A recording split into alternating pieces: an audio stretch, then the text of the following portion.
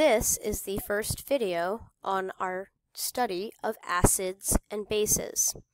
It covers part of chapter 14 as well as a small section of chapter 4 in your textbook. Here are the topics that we will be studying. We're going to talk about some basic properties and types. We're going to define some terms, Bronsted-Lowry's definitions, the Arrhenius definitions. We're going to discuss strengths of acids and bases. We're going to name them. We're going to then discuss the ionization of water, the pH scale, salt hydrolysis, as well as titrations and analysis.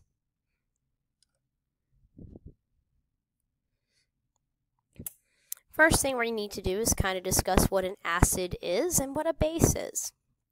Things that are acidic usually are going to start with H. So like HCl, HNO3, H2SO4. Things that are bases usually end in OH, like NaOH, KOH, MgOH2. Okay. Let's discuss some of their properties. Acids taste sour, right? Think like lemons. Bases, on the other hand, will taste bitter, kind of like soap. Okay. Touch. When a strong acid gets on your skin, at first, it's going to feel somewhat warm, and then it's going to burn. When a base gets on your skin, at first it is very slippery feeling, and again, strong bases. And then after it's very slippery, it can burn. Okay. Things that are acidic have a very high reactivity to metals. We saw this in our reactions lab earlier in the semester, where bases are low to none, which is really good because we use bases very often as cleaning supplies. For conductivity, it really depends on the type of acid or base, as For conductivity, it depends on if you have a strong acid or a weak one, as well as a strong base or a weak base. The conductivity property is the same for both. So if it's strong, then they will have a high conductivity. And if it's weak, then they will have a low conductivity. We'll talk about that difference shortly. Finally, we have indicators and pH.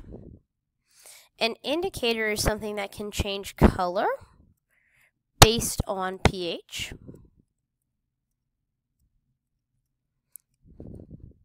So pH paper is a very good indicator, as well as many others such as like methyl red, bromothymol blue, and things along those lines. And then of course pH tells us how acidic or basic something is. So there's a lot of different indicators. One that you're responsible for knowing is litmus paper, which is similar to pH paper. Okay, if something is acidic, the litmus paper will be red. If something is basic, the litmus paper will turn blue. So bases are blue. Okay. And of course for pH, when pH is less than 7, it is acidic. When pH is greater than 7, it's basic. And of course, when pH is equal to 7, it's neutral.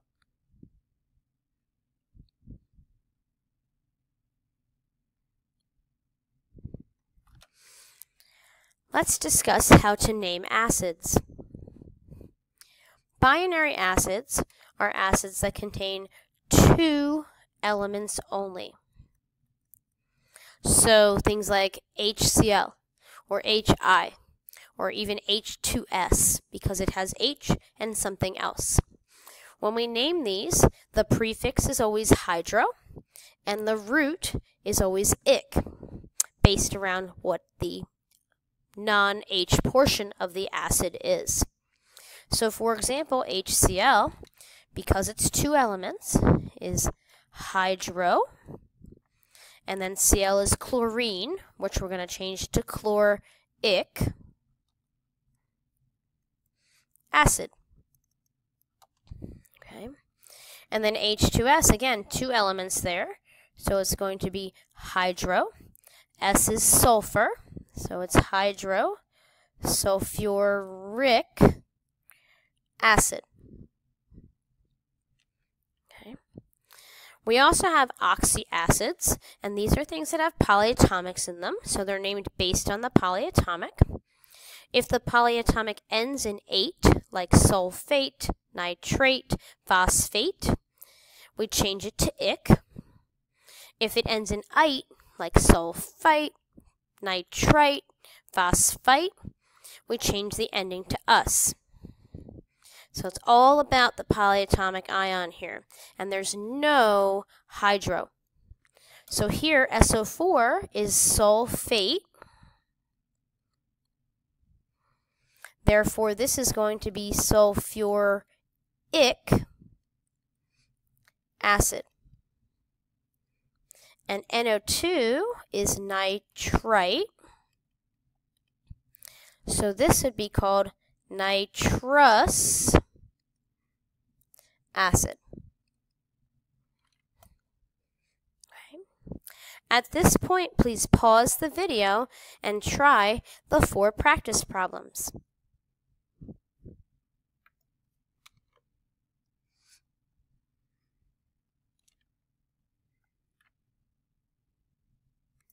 Okay, so HBr you should have had as hydrobromic. H2SE, kind of funny, but hydroselenic. On the other side, since NO3 is nitrate, it's nitric acid, and PO3 is phosphite, so it's phosphorous acid.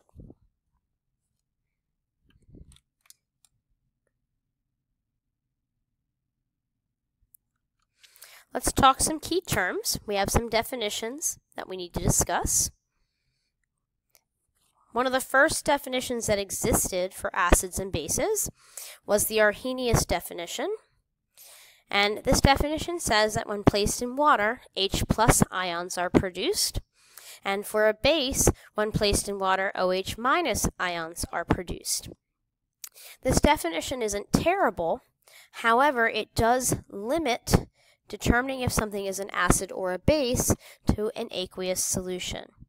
So basically this is limited to aqueous solutions. And although most acids and bases are found in their aqueous state, it's not always the case. So some time went by, and Bronsted Lowry came up with a different definition they said that an acid was a proton or an H plus donor, so it has an H to give. And a base is a proton or an H plus acceptor, so it takes on the H. Okay.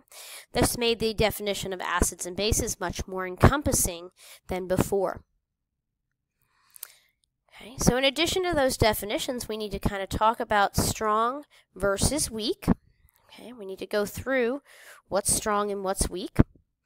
Strong acids and bases are strong electrolytes. They dissociate completely, which means they turn 100% into their ions. Okay, so an example of this would be something like HCl. HCl completely breaks apart into its two ions, H plus and Cl minus, and the arrow only goes in one direction. For things that are weak instead, they only partially dissociate. Usually, it's a little bit less than 5%. That actually turns into ions. And so HF is a good example of this. And you'll notice here, when I write the equation, that I have a double arrow indicating that some turn into ions, but a lot of it stays together.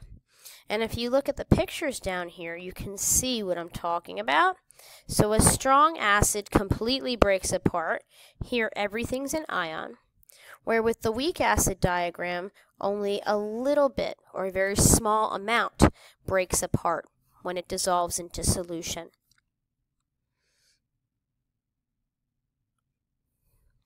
So let's talk about what's strong and what's weak. For acids, we have seven. HCl, H2SO4, HBr, HI, HNO3, and then HClO3 and HClO4. Okay? Everything else is considered weak.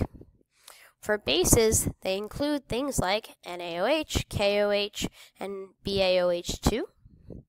But more specifically, a strong base is when you have a 1A, an alkali metal, plus an OH, or when you have a 2A metal, an alkaline earth metal, plus OH.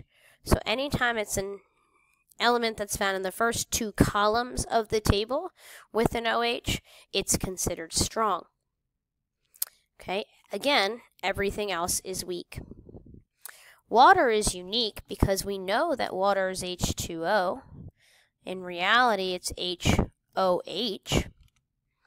And it's amphiprotic or amphoteric. You'll hear both words. Basically, what this means is that because water has the components of the acid, the H, as well as the base, the OH, it can actually act like an acid or a base. And it's all dependent upon what it's combined with. We have previously discussed equilibrium and equilibrium expressions in the past. So let's write out water's equilibrium expression. Water, which is a liquid, turns into H plus ions, so they're aqueous, plus OH minus ions, which are also aqueous. And we know that when we write KEQ expression that we never include liquids or solids, and it's always products over reactants. So the expression for water is often represented as a KW, W for water, equals the concentration of H plus times the concentration of OH minus. Okay. And this is actually a constant, the constant number is 1.0 times 10 to the negative 14th, and we'll be using that for math shortly.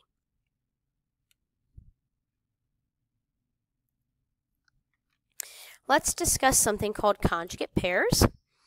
Acids and bases are always found in pairs. You always have an acid plus a base making a conjugate acid and a conjugate base. The conjugate acid is the base plus an H, and the conjugate base is the acid minus an H. Okay, so here in this general formula, this would be your acid, this would be your conjugate base, this would be your base, and this would be your conjugate acid. So let's do an example and then have you guys try a couple. So the first thing you need to do is figure out if it's an acid or a base that you're given to begin with, and then water is just the other portion of that, the opposite, and then pair up with their partners on the other side. So HCl is most similar to Cl minus, and H2O is most similar to H3O plus. Because HCl starts with an H, it's the acid. Therefore, water has to be the base. The partner to the acid is Cl, so this is the conjugate base, and the partner to the water is the conjugate acid. Okay. NH3 is actually a weak base. So I would like you to pause the video and try these last two problems.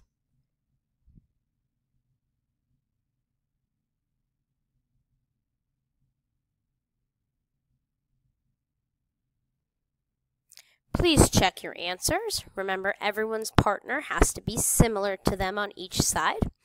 And water is either acidic or basic depending upon what it's with. We will continue our study in our next video.